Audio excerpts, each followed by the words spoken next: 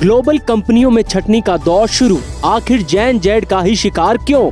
नौकरियों से निकाले जाने का सिलसिला भारत सहित दुनिया के तमाम देशों में जारी है। अब तक तकरीबन डेढ़ लाख से ज़्यादा वर्कर्स को बाहर का रास्ता दिखाया जा चुका है। पिछले साल दुनिया की तमाम बड़ी आईटी कंपनियों ने तकरीबन सत्तर हज़ार कर्मचारियों को नौकरी से निकाल दिया था। इनमें गूगल अमेजन मेटा ट्विटर और माइक्रोसॉफ्ट का नाम भी शामिल है। हालाँकि डोमेस्टिक कंपनियों को भी दरकिनार नहीं किया जा सकता है, जिन्होंने थोड़ी कम संख्या में कर्मचारियों की छटनी की।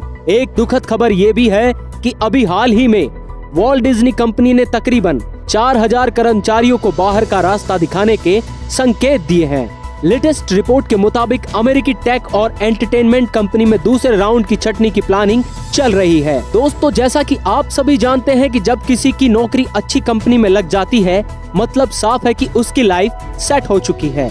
लेकिन ठीक इसके विपरीत, पिछले कुछ महीनों से दुनिया भर की कंपनियाँ अपने कर्मचारियों की बड़े पैमाने पर छटनी कर रही है। नौकरियों से निकाले जाने का ये सिलसिला भारत सहित दुनिया के तमाम देशों में जारी है। अब तक तकरीबन डेढ़ लाख से ज़्यादा वर्कर्स को बाहर का रास्ता दिखाया जा चुका है।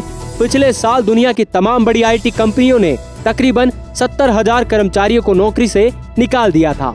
इनमें गूगल अमेजन मेटा ट्विटर और माइक्रोसॉफ्ट का नाम भी शामिल है। बतौर उदाहरण, कोविड महामारी के बाद इन प्रमुख तकनीकी कंपनियों में अमेजन ने अठारह हज़ार वर्कर्स सेल्स फोर्स ने आठ हज़ार वर्कर्स माइक्रोसॉफ्ट ने दस हज़ार मेटा ने ग्यारह हज़ार अल्फ़ाबेट ने बारह हज़ार वर्कर्स कर्मचारियों को निकाल दिया। हालाँकि डोमेस्टिक कंपनियों को भी दरकिनार नहीं किया जा सकता है, जिनमें थोड़ी कम संख्या में कर्मचारियों की छटनी की। हैरान करने वाली बात यह है कि कर्मचारियों की ज़्यादातर छटनी आईटी और स्टार्टअप सेक्टर में काम करने वाली कंपनियों में ही देखने को मिल रही है।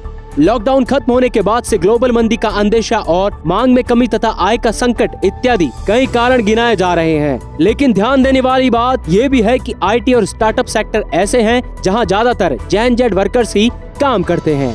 ऐसे में सवाल ये उठता है कि इतने बड़े पैमाने पर हो रही छटनी में प्रोफेशनल्स के द्वारा कहीं जैन जेड जनरेशन को बेरोजगारी का शिकार तो नहीं बनाया जा रहा है क्योंकि नौकरी से निकाले जाने के वक्त इनकी जो कमियाँ बताई जाती हैं, इससे एक साथ कई सवाल पैदा होते हैं।